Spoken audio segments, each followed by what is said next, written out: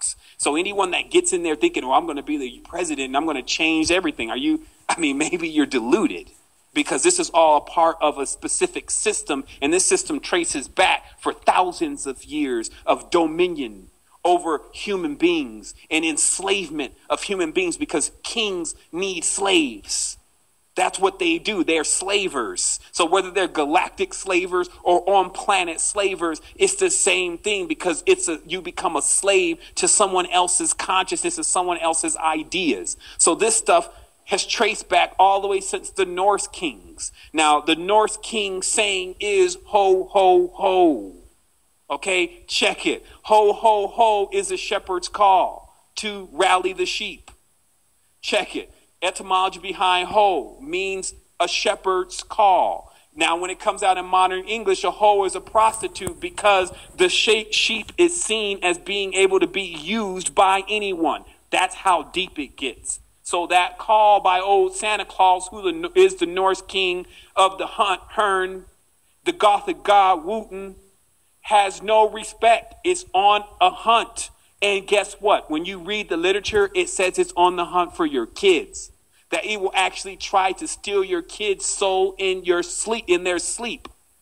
And this is Grimm's tales. Jacob Grimm and his brother recounted all of these tales and brought them back into modern English. Research it. If you just go to Santa Claus on Wikipedia, you could find all of this. And this is why, by the lack of knowledge, ye shall perish.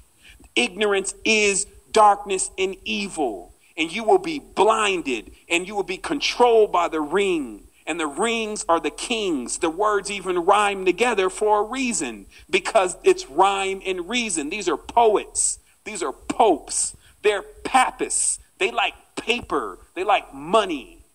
You see, they write laws, they write rules, they write edicts, they bind, they cast, they have certificates. You see, so this all is not no game anymore. This is a soul war, and most are losing. But right now, what's going on is that there's a change. The change is really here. The frequency shift is available, and you know it's it's coming so strong, and it's for you to get this message. Remember, there's only at tops 50 people listening to the conversation right now. By the end of the week, tops, it'll be 2,000 people. I've been doing this for seven years. My stuff does never make it out a certain circle. So it's for you. It's for you to take the knowledge and to put it into the other places. Because I could be here 10 years from now and still be looking at a thousand views on a video that contains grade A quality consciousness ready and accessible for anyone willing to listen, even if they have to hit play twice. So here we go.